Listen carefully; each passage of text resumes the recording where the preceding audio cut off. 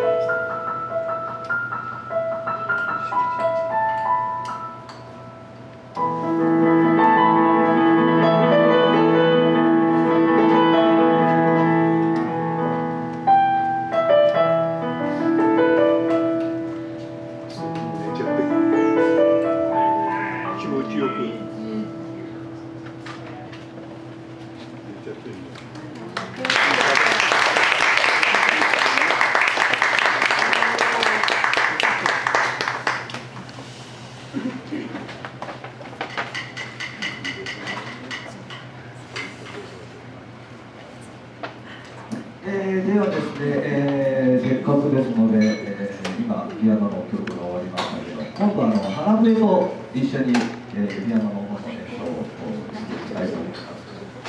歌本を買っていただいてよろしいですか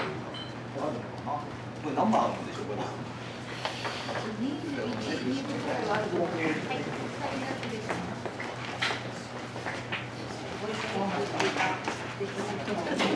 Gracias.